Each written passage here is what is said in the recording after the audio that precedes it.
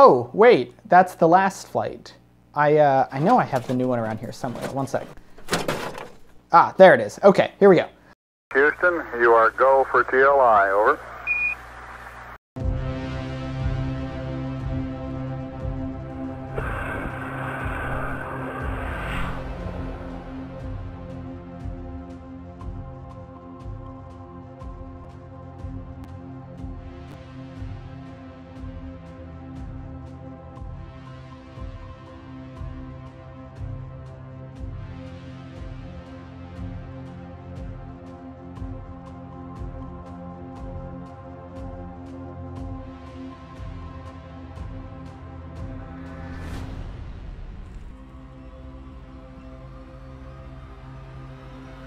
Four, three, two, confirm.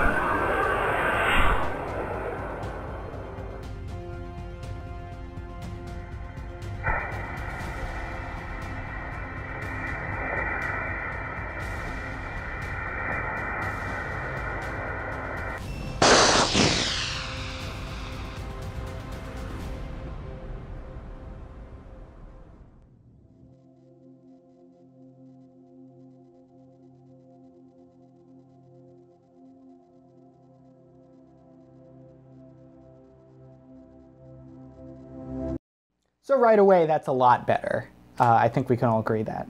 So the there's not too many differences between Flight 3 and Flight 4, which you just saw. Yeah, so the only real fix there is uh, the changing of the acceleration's reference direction. Like I said in my last video, I had a reference direction problem with the acceleration axis. Um, with things being flipped, it wouldn't trigger the guidance loop, and we wouldn't actually end up going anywhere. So you can really see a night and day difference between having it flipped the wrong way and having nothing activate, and having it turn on correctly with the axis going the right way. Between flights, I did a big scrub through of my code.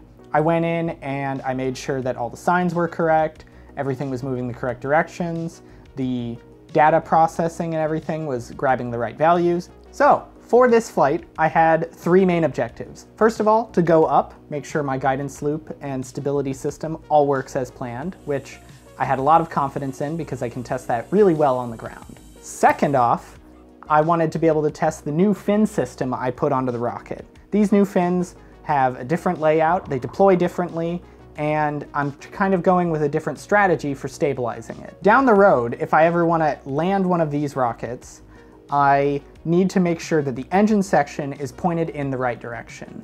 Without that, there's no opportunity for landing and you'll never get there. The fin system is made to open right after burnout. This gives me a lot of time to be able to see how the fins are affecting the stability of the rocket and make sure that they are doing their job.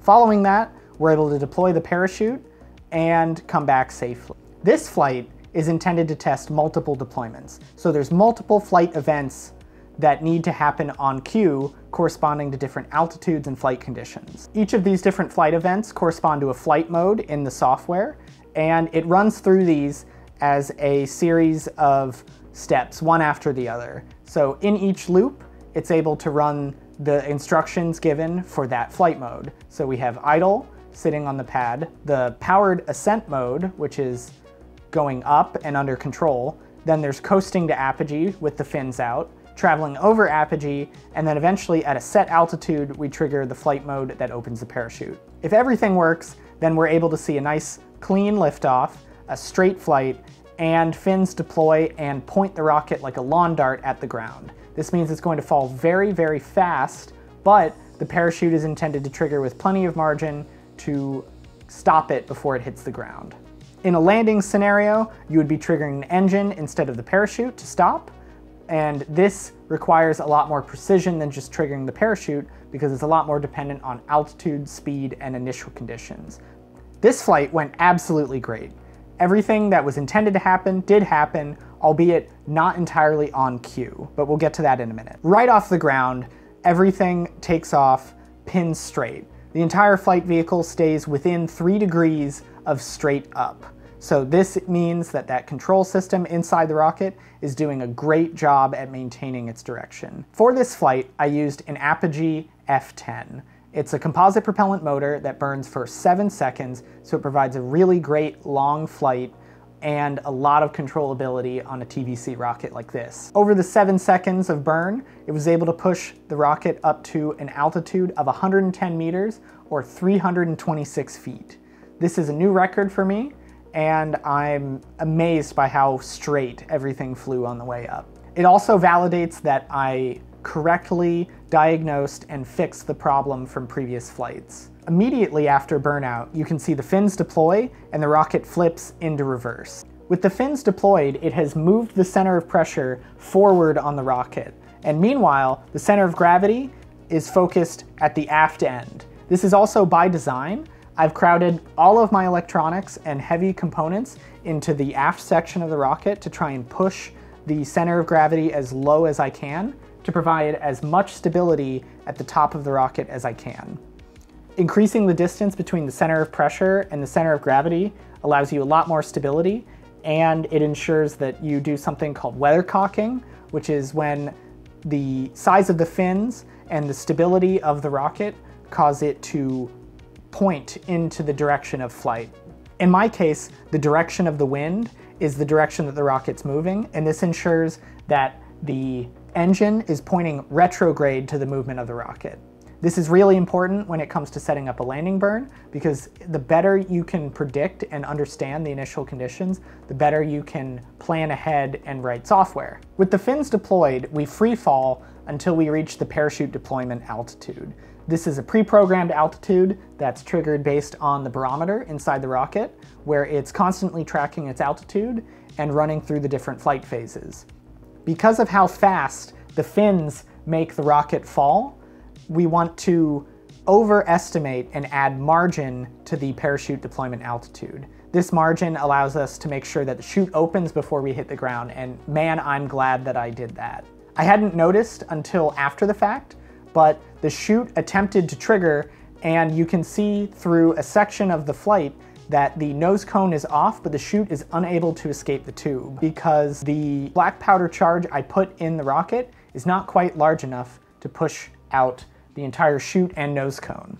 As a result, it ended up hanging up right on the edge of being deployed. Right before impact, the parachute is able to pull itself free just due to the drag pulling on the nose cone. So what's next, you ask? Well, I have a few additions to make to the rocket for the next flight, um, one of which you'll see here. I'm adding the legs back on. The legs add an extra deployment to the recovery sequence. While I'm not doing a landing burn, the legs will deploy at a given cue and this will be right before touching the ground. Another addition is an onboard HD camera that I'm going to be adding. I've had the mount set up and everything ready to go, and all I need to do is cut a small window here in the side so that it can see out and we can get a really nice HD view from onboard during flight. I'm going to have a couple small fixes that I have to make as well. I ended up breaking one of the TVC uh, mounting points, um, which is an easy fix. It just involves reprinting it and reassembling it. So yeah, that's pretty much it. Uh, I honestly couldn't ask for much better. I got to really see how well the fins worked, and I got a first-hand look at how fast this thing can actually fall. But I will say it does give me a lot of hope for being able to point everything in the right direction and ensure that the engine section is pointing the correct direction for a landing burn. So yeah, thanks for watching. I guess I'll uh, see you in the next one. Houston, you are go for TLI, over.